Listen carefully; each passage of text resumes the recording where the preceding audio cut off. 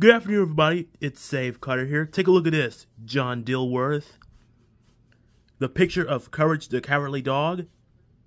And here's a new cartoon character I'm drawing for you, Mr. John Dilworth. Excuse me, Mr. John Dilworth. This is Crocus, the crocodile.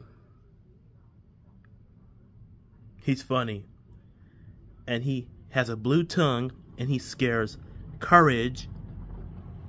So, love you, John Dilworth. Keep up the good work. So, smash like button because this is this good picture of the cartoon character of Crocodile I drew. He's a pretty looking crocodile. He's a little boy. He's a male. Yep. Signing off.